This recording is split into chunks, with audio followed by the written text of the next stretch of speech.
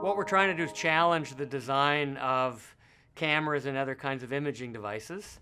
If you get right down to it, we've spent the last 400 years perfecting a single design for a camera that consists of a sensor and a lens. We're trying to change that in a radical way. In our approach, we're trying to challenge the three dimensionality, the chunkiness of standard camera designs by a new approach that can make cameras very, very flat. So they could be very thin, they could be very flexible, and they could be used in a lot of applications where lens-based cameras just can't be used.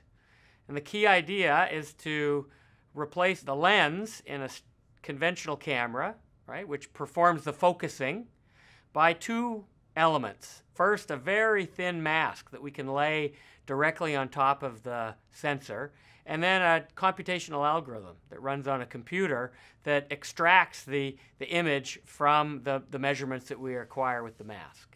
This is FlatCam. What we have here is another prototype of FlatCam.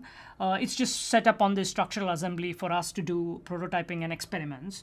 The cable that you see here is the data transfer cable.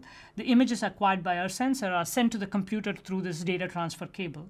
In the computer, inverse algorithms are used to focus and reconstruct the image. This camera does not have a lens. The computer algorithms do the task of focusing and reconstructing an image from the measurements acquired using FlatCam. These are early days, and we're still uh, there's still a lot of work to be done to perfect uh, the, the, the technologies and the techniques. But what our design offers is a completely new design space that we can work with to design exotic new kinds of cameras.